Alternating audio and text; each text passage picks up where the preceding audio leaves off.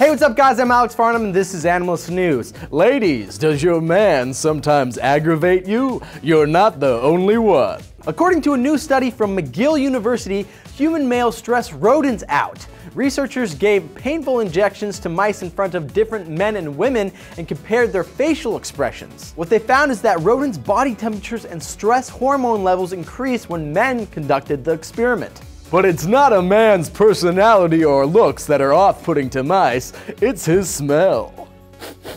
Ooh.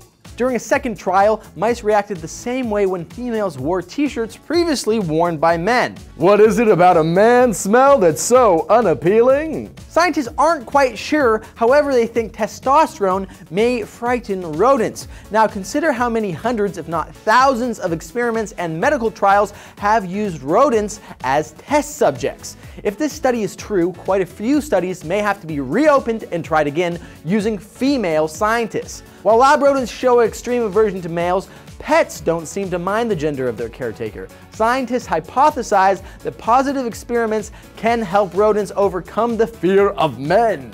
So, what are you afraid of? It shouldn't be men, because we smell great. Let me know in the comments below. Be sure to check out these other videos over here. Subscribe, share this with your friends, and I'll see you in Mammals next time. That's a, supposed to be the Old Spice and outro thing. I can't I can't hit that high note. I wasn't born with the lips of a god.